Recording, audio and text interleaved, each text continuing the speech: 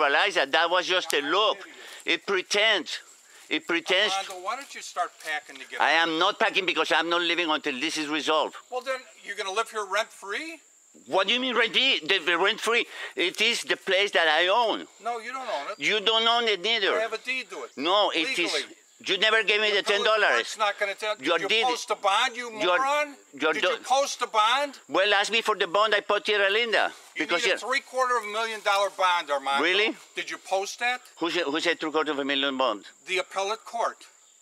Show it to me in writing. Turn the camera off. I don't want to talk Why? to you anymore. Then go. Because you're irritating. That's why. Close the damn door. You're destroying No, I need I. I need air. Circulating. That's why I have a fan. Don't you understand? Yeah, don't you understand? I put a dehumidifier. How do you think I dried it? How do you it's think- not drying up. It's been weeks. Joe, I, that's what I told you. Don't put the dehumidifier here again.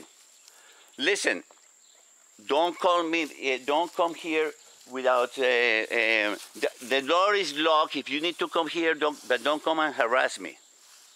Armando, I have a right to come here whenever I want to come here, okay? Anytime I want to come here, I can come here. Look at the lease, the lease that you continue to violate. What did I violate?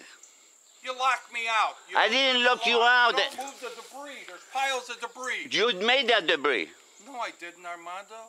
This is stuff you have here for you. And do you know where you put it? Underneath the willow tree. You want me to burn the willow tree? You know, you're something. What? You're just going to keep this up, aren't you? You had $25,000 that you could have left here with. I am not leaving.